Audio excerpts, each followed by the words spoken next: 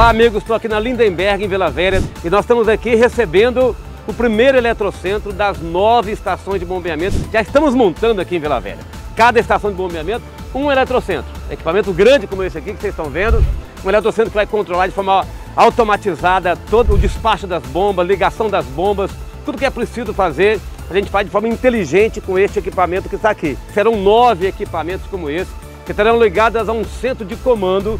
Isso depois de todo esse investimento pronto, nós vamos repassar esse comando, esse serviço para a Prefeitura Municipal, que vai fazer toda a parte de operação do sistema. Estamos investindo aqui 400 milhões de reais nessas obras, são obras fundamentais que nós estamos realizando aqui através da Secretaria de Desenvolvimento Urbano, que é a nossa Secretaria de Estado, e em parceria com o município, nós vamos melhorar muito a vida das pessoas, que mora aqui em Vila Velha, que mora em Cariacica, porque nunca foi feito um investimento tão grande como que nós estamos fazendo. Para melhorar a vida dos capixabas, é isso que nos interessa.